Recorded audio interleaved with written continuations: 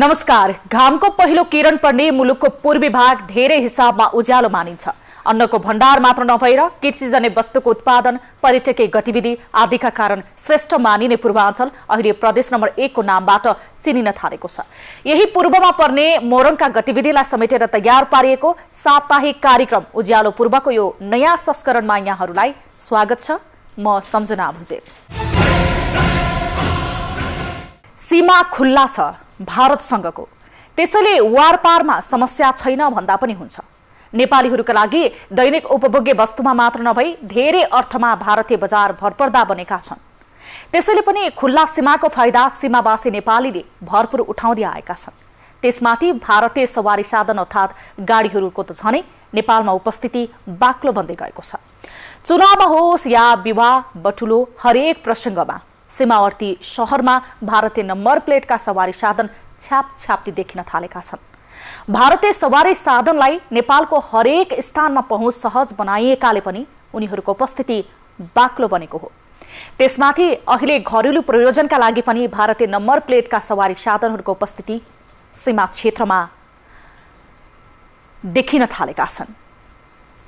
विराटनगरमा पनि यो प्रवृत्ति बढ्दै गर्दा सुरक्षा र राजस्वको हिसाबलाई लिएर चिन्ता बन्ने गढेको छ। मोरङको झदा गाउँपालिका स्थित सिङ्गिया खोलामा पक्की पुल नहुँदा भारतीय नागरिकले बाँसको पुल बनाएर व्यापार गरिरहेका छन्। जहात गाउँपालिकाबाट विराटनगर र भारतीय बजार जोगबनी जान भारतीय नागरिक जगमलाल रामले बनाएको बाँसको पुल तर्नै पर्दछ। उनले वर्षौंदेखि जहात गाउँपालिका वार्ड नम्बर दुईमा बाँसको पुल बनाएर व्यापार गर्दै आएका हुन्। यसरी बाँसको पुलबाट हिँडे बापत साइकलले पाँच रुपियाँ र मोटरसाइकलले दस रुपियाँ तिर्नु पर्दछ करिब सत्तरी हजार रुपियाँको लागतमा दुई सयवटा बाँस प्रयोग गरेर जगमलालले बाँसको पुल बनाएर व्यापार थालेको बताएका छन्। टाढाको व्यक्तिहरूसँग नगद लिएर आवत जावत गर्न दिने गरेको भए पनि छेउछाउका स्थानीयहरूसँग भने वार्षिक रूपमा धान र गहुँ दिएर पुल तर्न दिने गरेको जगमलालले बताउनुभयो जहदा गाउँपालिका भएर बग्ने सिङ्गिया खोलामा पक्की पुल नभएकै कारण सयौँ सर्वसाधारणले नगद मात्र तिर्नु परेको छैन कमजोर र साँगुरो बाँसको पुल तर्दा जोखिम समेत मोल्नु परेको छ। असुरक्षित सो पुलबाट लडेर धेरै सर्वसाधारण घाइते समेत भएका छन्।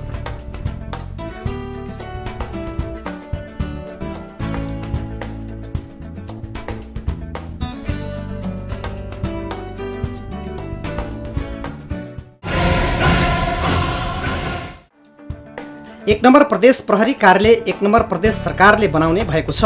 पाँच तले प्रदेश प्रहरी कार्यालय भवन निर्माणका लागि प्रदेश सरकारले यस आर्थिक वर्षमा पाँच करोड रुपियाँ विनियोजन गरेको छ। करिब छब्बिस करोड रुपियाँमा निर्माण गरिने प्रदेश प्रहरी कार्यालय दुई वर्षभित्र सम्पन्न गर्ने योजना रहेको छ।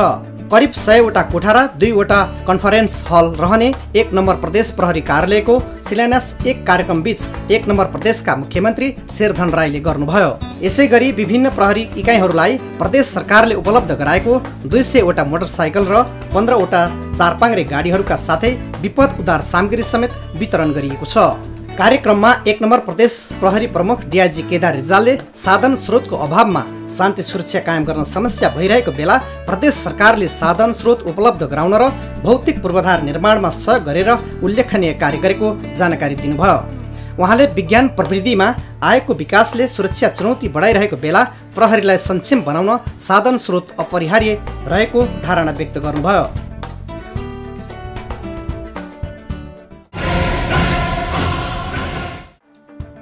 एक नम्बर प्रदेशका उद्योगी व्यवसायीहरूले सरकारले गरेका प्रतिबद्धता मात्र पूरा गरे आर्थिक समृद्धि र विकास निर्माणको फड्को मार्ने धारणा व्यक्त गरेका छन्। अर्थको अर्थ कार्यक्रमले विराटनगरमा आयोजना गरेको एक नम्बर प्रदेशको आर्थिक क्षेत्रको सम्भावना अवसर र चुनौती विषयक अन्तर्क्रिया कार्यक्रममा उद्योगी व्यवसायीहरूले एक नम्बर प्रदेश आर्थिक दृष्टिकोणले अत्यन्त उर्वर रहे पनि सरकारले गरेको प्रतिबद्धता पुरा नगरेका कारण पछाडि परिरहेको गुनासो गर्नुभयो। उहाँहरूले कृषि क्षेत्रलाई पहिलो प्राथमिकता दिने गरिएको भए पनि कृषि क्षेत्रको विकासमा कुनै कार्य नगरिएकोले अलैँची अदुवा जस्ता वस्तु निकासी गर्न सकिएको धारणा व्यक्त गर्नुभयो। कार्यक्रममा सहभागीहरूले अमर्यादित व्यापार नियन्त्रण गर्न आग्रह गर्दै ब्याङ्क ब्याज दरले पनि उद्योग व्यवसाय सञ्चालनमा समस्या परिरहेकोले सरकारले छिटो र चाँडो निर्णय गर्नुपर्ने धारणा व्यक्त गर्नुभएको थियो। कार्यक्रममा एक नम्बर प्रदेशका उद्योगी व्यवसायी ब्याङ्क तथा वित्तीय संस्थाका प्रतिनिधिहरू अर्थविदहरूको सहभागिता रहेको थियो।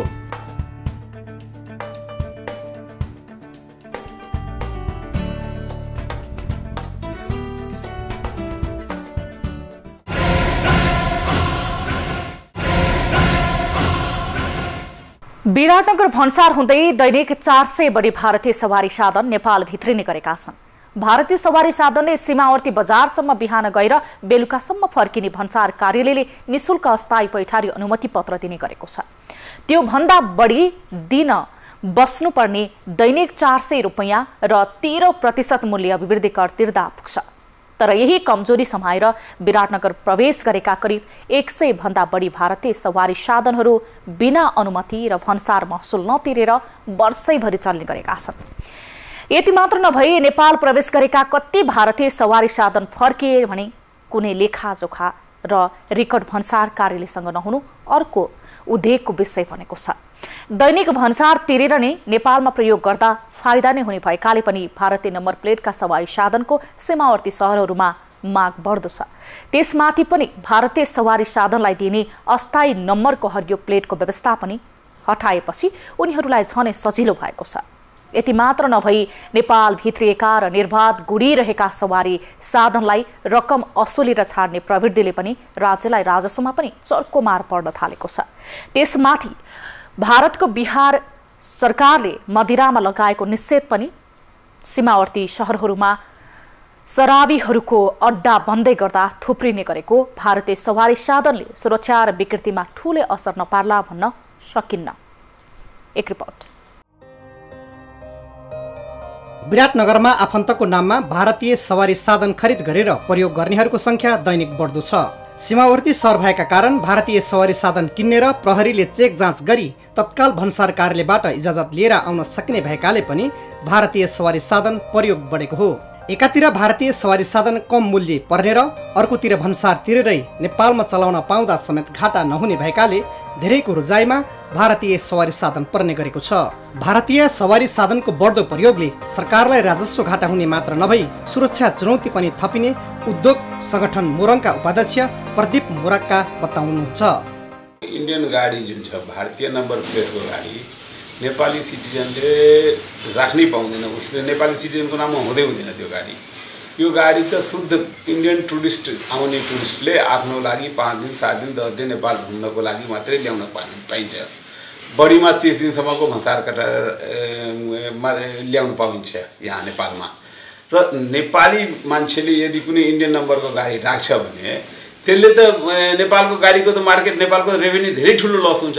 एउटा पाँच लाखको भाडीको गाडी नेपालमा त्यसको मूल्य पच्चिस लाख रुपियाँ पर्छ। ड्युटी लगाएर तिन सय पर्सेन्ट ड्युटी छ। अब पच्चिस लाखको ब्याजको कुरा गरौँ भने सालको कमसेकम तिन लाख रुपियाँ ब्याज हुन्छ। अनि डेप्रिसिएसन त्यही उसमा पच्चिस लाखमाथि डेप्रिसिएसन हुन्छ उसको। कस्ट पच्चिस लाखमा छ रिपेयरिङ गर्दा पच्चिस लाखको हिसाबले कस्टिङ लाग्छ। र पाँच लाखको गाडी ल्याएर राख्दा त यहाँ नेपाली नम्बरको नेपाली प्लेटको त गाडी नै बिग्न बन्द हुन्छ। र त्यसले गर्दा त रेभेन्यू पनि गयो र सबै मान्छेले त्यो इन्डियन गाडी राख्छ।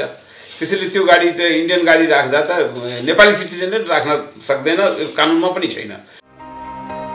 कुनै पनि भारतीय सवारी साधनले सीमावर्ती बजारसम्म बिहान गएर बेलुकासम्म फर्किन भन्सार कार्यालयले निशुल्क अस्थायी पैठारी अनुमति पत्र दिने गरेको छ। त्योभन्दा बढी दिन बस्नु परे दैनिक चार सय रुपियाँ र तेह्र प्रतिशत मूल्य अभिवृद्धि कर तिर्दा पुग्छ। यसरी एउटा भारतीय सवारी साधनले एक पटकमा सात दिनसम्म बस्न पाउने गरी वर्षको तिस दिनको लागि भन्सार महसुल तिरेर बस्न पाइन्छ। तर विराटनगरमा करिब एक सयवटा भारतीय सवारी साधनहरू बिना अनुमति र भन्सार महसुल नतिरेर वर्षैभरि चल्ने गरेको छ। भारतीय यात्रुलाई नेपाल भ्रमण गर्न सजिलो होस् भनेर भारतीय सवारी साधनको प्रयोगमा नेपालमा कडाई गरिएको पाइँदैन। तर यसको दुरुपयोग गरेर सीमावर्ती क्षेत्रमा भारतीय सवारी साधन नै राख्नेको सङ्ख्या अत्यधिक रहेको छ। प्रहरी प्रधान कार्यालयले अस्थायी रूपमा चल्ने भारतीय सवारी साधनहरूलाई दिने गरेको हरियो नम्बर प्लेट समेत हटाएपछि भारतीय सवारी साधनलाई नेपालमा चल्न निकै सजिलो भएको छ। हरियो नम्बर प्लेट राख्दा टाढैबाट चिन्न सकिन्छ। अहिले अनुमति लिए नलिएको चेक जाँच गर्न गाडी नै रोक्नुपर्ने समस्या परिरहेको जिल्ला ट्राफिक प्रहरी कार्यालय विराटनगरका प्रमुख शिवकुमार पोखरेलले बताउनुभयो। जसले अब जहाँबाट दस्तुर लिएर तिरिएको हुन्छ त्यो भन्सा कार्यालयमै त्यसको रेकर्ड राखिनुपर्छ। तपाईँले एक वर्षमा यति दिनसम्म तपाईँले फेसिलिटी पाउने हो तपाईँले पाइसक्नु भएको छ अब तपाईँ पाउनुहुन्न भनेर त्यो उही भन्सा कार्यालयले गरिदिनुपर्छ अब हामीसँग त्यसको तथ्याङ्क हुँदैन। कतिचोटि उसले चाहिँ के अरे सहुलियतमा आयो कति रासो तिरेर आयो त्यो कुरा तथ्याङ्क हामीसँग हुँदैन रेकर्ड राख्ने गरिरहेको छैन हामीहरूले। र यो तथ्याङ्क जहाँबाट ऊ इन्ट्री हुने हो त्यहाँबाट तीको चाहिँ भाषा कार्यालय त्यो तथ्याङ्क राख्नुपर्छ। अनि मात्र यो कार्यान्वयनमा हुन्छ होला। होइन भने अब हामीहरूले त फिल्डमा खटिने त रासो तिरेर आएको हुन्छ उसले सुविधामा पाएको गाडी हुन्छ हामीले त डकुमेन्ट हेर्थ्यौँ ऊ ठिक छ भने हामीले छोडिदिनु पर्ने अवस्था आउँछ त्यो समस्या चाहिँ हामी कहाँ छ? भारतीय सवारी साधनहरू सस्तो हुने र दैनिक भन्सार महसुल तिर्दा समेत नाफा नै हुने भएकाले सीमावर्ती क्षेत्रमा भारतीय गाडीहरूको प्रयोग बढेको हो। विराटनगर भन्सार नाका भएर दैनिक चार सय भन्दा बढी भारतीय सवारी साधनहरू नेपाल भित्रिने गरेको छ। तर यी गाडीहरू नेपालमा कति दिन बसे फर्किए फर्किएनन् कहाँ बसेका छन् भन्सार कार्यालयसँग कुनै रेकर्ड र जानकारी नै हुँदैन। भारतीय सवारी साधनहरूले प्रमुख भन्सार नाका भएर मात्र नेपाल छिर्न पाउँछन्। फर्कँदा भने छोटी भन्सार नाका भएर पनि पाउँछन्। तर नियमित अनुगमन र चेक जाँच नहुँदा पास लिएर नेपाल छिर्ने भन्दा पास लिएर महिनौ बस्ने भारतीय सवारी साधनको सङ्ख्या निकै छ। विराटनगर भन्सार कार्यालयका प्रमुख मीमांस अधिकारी अस्थायी पास लिएर भारत नफर्किए। नेपालमै बसेका भारतीय सवारी साधनहरूलाई भन्सार कार्यालयले कारवाही गर्ने गरेको बताउनुहुन्छ। भन्सारबाट कागज बनाउने अथवा बनाएको भन्दा बढी अवधिसम्म बस्ने अथवा नबनाइ प्रवेश गर्ने चाहिँ अहिले पनि हामी कहाँ सयवटा जति मुद्दा होला तपाईँको चाहिँ मोटरसाइकल त्यस पछाडि जिप कारहरू पनि त्यसरी चाहिँ समातेर जफत गरेको र मुद्दाका क्रममा रहेका छन्। यो तोकिएको अवधिभन्दा बढी चाहिँ बस्न पाइँदैन। एकातिर पास नलिई नेपाल छिर्ने भारतीय सवारी साधनलाई भन्सार कार्यालय र प्रहरीहरूले कुनै कारवाही नगरिरहेको अवस्थामा नियम सम्मत रूपमा अनुमति लिएर नेपाल प्रवेश गर्ने भारतीय सवारी साधनहरूसँग भने अनावश्यक पैसा असुल्ने गरेको पाइएको छ। पन्ध्र सौ भन्नु भन्यो उहाँबाट अन्त पन्ध्र सौ ट्राफिक प्रहरीले अनावश्यक रकम असुल गरेको गुनासो आएपछि भारतीय सवारी साधनहरूलाई दिने गरिएको अस्थायी हरियो नम्बर प्लेट हटाइएको प्रहरीले जनाएको छ। यसबाट अनुमति लिएको वा नलिएको चिन्ह प्रहरीलाई मात्र नभई अन्य सरकारवालाहरूलाई समेत समस्या पर्ने गरेको छ। नेपाल सरकारले औद्योगिक कच्चा पदार्थ र पेट्रोलियम पदार्थ बोकेर नेपाल छिर्ने भारतीय सवारी साधनहरूलाई सुविधा दिएको छ। औद्योगिक कच्चा पदार्थ बोकेको सवारी साधनले बहत्तर घन्टे र पेट्रोलियम पदार्थ बोकेका भारतीय सवारी साधनले छयानब्बे घन्टे पास पाएको हुन्छ। तर भारतीय खाली ट्रक र कन्टेनरले भने भन्सार महसुल तिरेर जानुपर्ने प्रावधान आर्थिक ऐनले गरेको विराटनगर भन्सार कार्यालयका भन्सार अधिकृत मणिराम पौडेलले बताउनुभयो। मालवाहक ट्रकहरू ट्रकहरूको ट्रक सामान बोकेर आएको टेलरहरूको हकमा बहत्तर घन्टासम्म सामान अनलोड गरेर फर्किने समय बहत्तर घन्टासम्म चाहिँ केही महसुल तिर्नु पर्दैन। र खाली ट्रक गयो भने दैनिक चाहिँ महसुल चाहिँ अस्थायी महसुल चाहिँ तिर्नुपर्छ। अनि त्यसै गरी तेल बोकेका ट्याङ्करहरूको हकमा छ्यानब्बे घन्टासम्म चाहिँ त्यो अनलोड गरेर फर्किँदासम्म चाहिँ अस्थायी महसुल लाग्दैन। बिहार सरकारले मदिरामा प्रतिबन्ध लगाएपछि नेपालका सीमावर्ती क्षेत्रमा भारतीय सवारी साधनको आवत जावत अत्यधिक बढेको छ। यसलाई समयमा नियन्त्रण गर्न नसकिए यसबाट ठुलो नोक्सानी नहोला भन्न सकिन्न। एक नम्बर प्रदेश प्रहरी कार्यालय विराटनगरले सीमा क्षेत्रमा भारतीय सवारी साधनहरूको तथ्याङ्क र अनुगमनलाई नियमित बनाउन अनलाइन रेकर्ड प्रणाली राख्ने तयारी गरिरहेको एक नम्बर प्रदेश प्रहरी प्रमुख डिआइजी केदार रिजालले जानकारी दिनुभयो। सम्पूर्ण नाकाहरूबाट प्रवेश गर्ने निस्किनेलाई चाहिँ एउटा इन्टिग्रेटेड हिसाबले एउटा डाटाबेसहरू तयार गर्न सकिन्छ कि सफ्टवेयर तयार गर्न सकिन्छ कि भनेर हामी लागि परिरहेको छौँ र त्यो सफ्टवेयरहरू निर्माण गर्ने हामी तयारीमा छौँ। त्यसो भयो भनेदेखि एउटा चाहिँ कुनै नाकाबाट छिरिएको चाहिँ सवारी साधन कहिलेदेखि नेपालमा छिर्यो कति दिन नेपालमा बस्यो र कुन नाकाबाट गयो भनेर हामी चाहिँ त्यो दुरुस्त ढङ्गले गर्न सक्छौँ।